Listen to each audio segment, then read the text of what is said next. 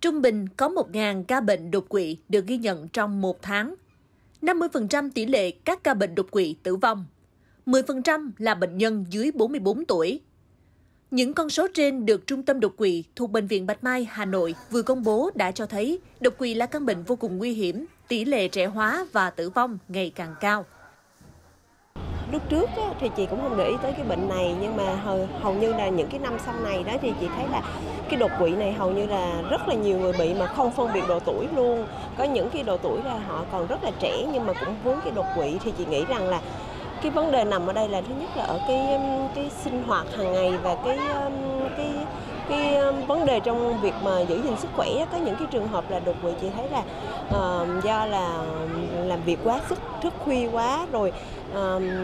mình sinh hoạt như là tắm tắm hoặc là gì không có đúng với cái thời gian uh, của mình căn bệnh đột quỵ này nó không như kiểu là nó nó khó kiểm soát đối với những cái người uh, không hiểu biết và lúc mà nó xảy ra thì thường thường cái tỷ lệ mà mình tử vong rất là cao. Cái phần trăm mà những cái người qua được nó là khoảng tầm từ 5 đến 10% thôi. Theo mình nghĩ là nó là rất nguy hiểm.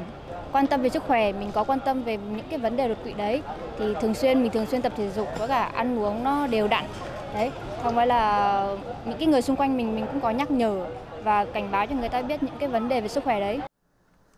Theo thống kê của Cục Quản lý Khám chữa bệnh Bộ Y tế, đột quỵ là nguyên nhân phổ biến hàng đầu gây tàn tật và phổ biến thứ ba gây tử vong tại Việt Nam.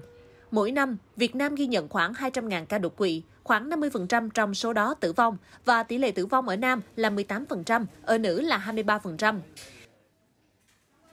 Đột quỵ là bệnh lý khá là phổ biến. Xét về đột quỵ thì có cái hai cơ quan mà thường bị, đó đột quỵ não và đột quỵ tim. Thì trong đó đột quỵ não là nguyên nhân ờ, thường gặp là chiếm cái nguyên nhân tử vong thứ hai trên tất cả các nguyên nhân bệnh tật mà gây tử vong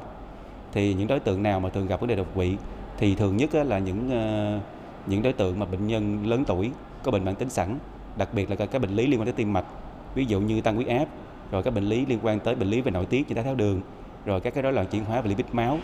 rồi bệnh nhân có những cái uh, hoạt động sinh hoạt không lành mạnh ví dụ hút thuốc lá nhiều uống nhiều rượu bia sử dụng quá nhiều các chất mang mang cái cái uh, À, mà các cái chất mà có tính kích thích như là cà phê rồi uh, các cái nước mà tăng lực thì cũng có nguy cơ đột quỵ cao người bình thường. Rồi những bệnh nhân bị béo phì chế độ ăn không lành mạnh quá nhiều dầu mỡ chất béo thì cũng có tăng nguy cơ đột quỵ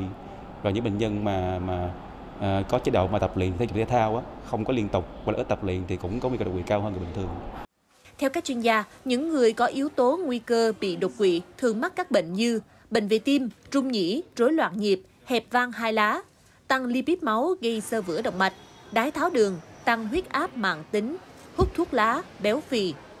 Theo nhiều suy nghĩ chủ quan ở các bạn trẻ, dường như đột quỵ là bệnh lý chỉ thường gặp ở người lớn tuổi, nhưng nay điều này đã thay đổi khá rõ rệt. Ở người trẻ, dù không có các bệnh lý nền, nhưng họ lại có lối sống không lành mạnh, ăn uống không điều độ, thức khuya, hút thuốc, sử dụng chất kích thích. Đây chính là nguyên nhân trực tiếp dẫn đến bệnh lý đột quỵ khi tuổi đời còn trẻ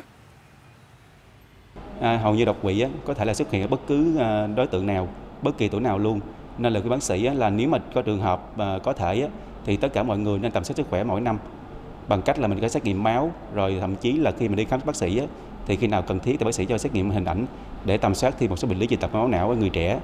Cũng như về người lớn tuổi á, nếu mà nam giới sau 45 nữ giới sau 55 tuổi đặc biệt là hết tuần mãn kinh thì cũng nên tầm soát sức khỏe mỗi 6 tháng đến một năm để kiểm tra xem mình có các bệnh lý mãn tính như tăng huyết áp, đái tháo đường, đó là lipid máu hay không. Để được nếu mà có chúng ta phải phải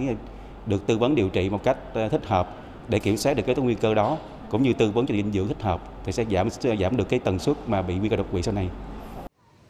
Tỷ lệ tử vong cao và các di chứng của đột quỵ cũng rất lớn. Nhiều bệnh nhân đột quỵ nếu không được tích cực điều trị sẽ khó hồi phục, mất khả năng vận động, lao động.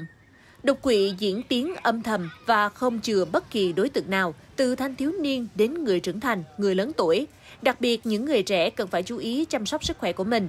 Các bạn trẻ nên có lối sống sinh hoạt lành mạnh, làm việc và nghỉ ngơi hợp lý, tầm soát sức khỏe thường xuyên để hạn chế tối đa khả năng mắc phải đột quỵ.